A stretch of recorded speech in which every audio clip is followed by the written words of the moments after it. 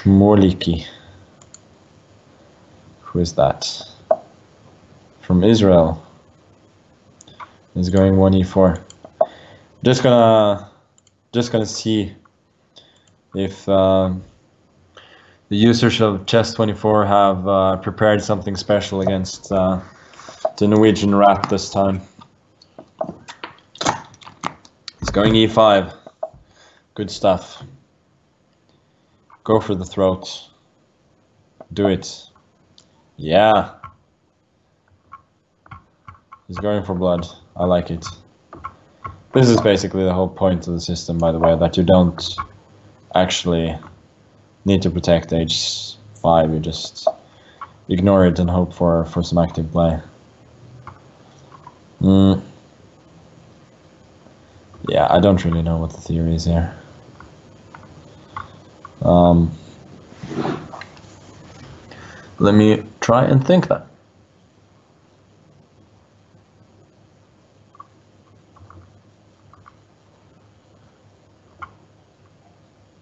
I want to go knight f4. Worried about knight b5 though. Knight g2, king f1. So if I go knight f6, how is that with regards to temp to Tempe. So usually it's knight c3 in the Scandinavian, queen d6, d4, knight f6, bishop e2, g6. That's an that's a transposition, no? Knight c3, queen d6, d4, knight f6, bishop e2, g6. Yeah, okay. I don't know if knight f6 is good. It's just too funny not to play.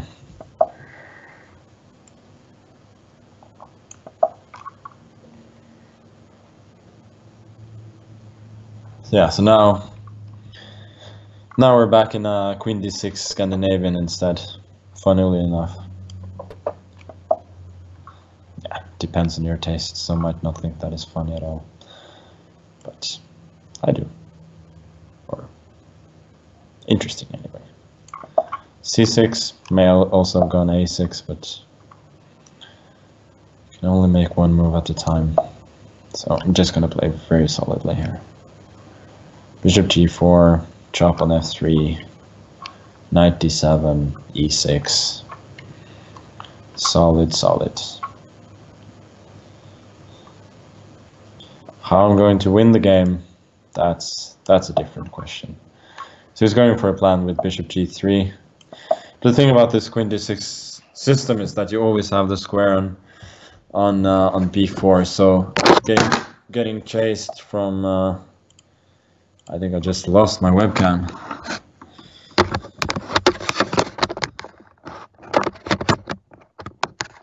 portable webcam. How stupid is that?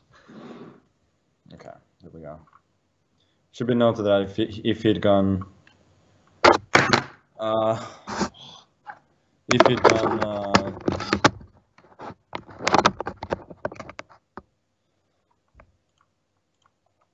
sorry, uh, if he'd gone uh, a3 instead, I couldn't have taken on on b2 because if, um, and I still cannot take there, but I can go. queen a5 back. I hope that's more or less okay now.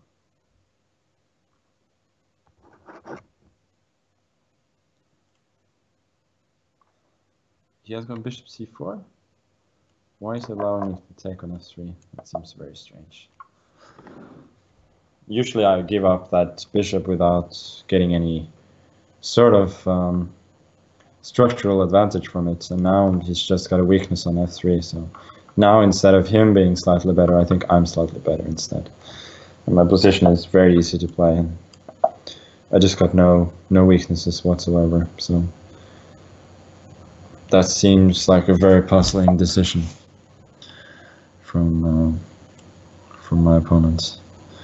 I may go queen h5. I'm just gonna take 94. I think he's got to go rook e4. fe drops a pawn to knight b6.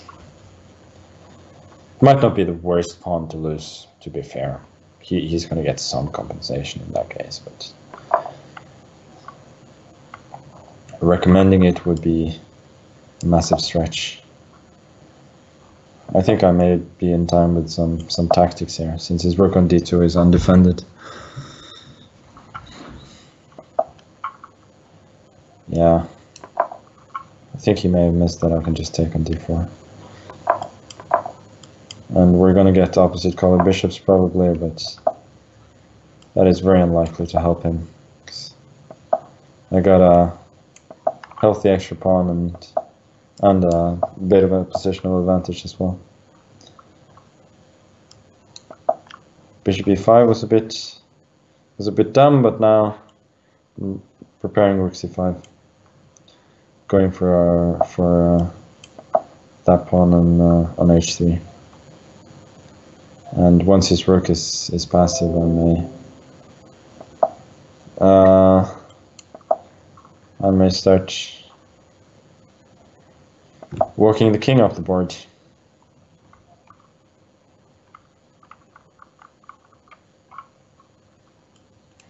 Yeah. Don't think he's going to be able to defend uh, f4. And if we're trading, if we're trading d4 for for f4, I'm pretty happy. Having said that, maybe I'm even happier with taking b2 than hopefully getting back to to eating uh, uh, to eating uh, f4 later. Yeah, so this is going to be a fairly simple mop-up job, I think. Rook f3, then king h5 is coming. She shouldn't have resigned though. He had bishop c4, king h4, bishop f1. And uh, he's still fighting. So I think the his position is lost, but the resignation was a little bit premature.